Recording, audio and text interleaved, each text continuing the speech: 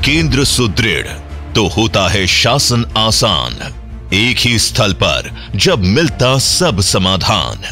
कुछ ऐसे ही उद्देश्यों के साथ बना है धनबाद ज़िले का शासन केंद्र, अर्थात नया समाहरणालय भवन, जिसका शुभ उद्घाटन दिनांक 22 दिसंबर 2023 को राज्य के यशस्वी मुख्यमंत्री माननीय श्री हेमंत सोरेन जी के कर कमलों से हो रहा है।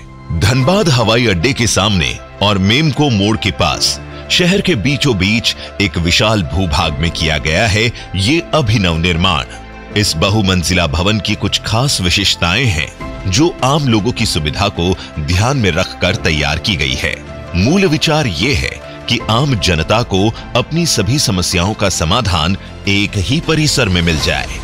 भवन के मुख्य द्वार पर बने इस सुंदर फव्वारे से इस भवन के अंदर की खूबसूरती का आभास सहज ही हो जाता है।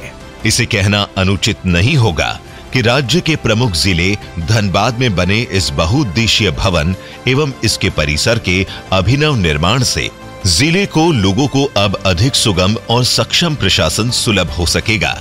सनद रहे कि धनबाद ज़िले के लोगों के लिए माननीय मुख्यमंत्री जी के द्वारा आज इस अभिनव समाहरणालय भवन का लोकार्पण प्रदेश में सुशासन की ओर बढ़ा एक ऐतिहासिक कदम है।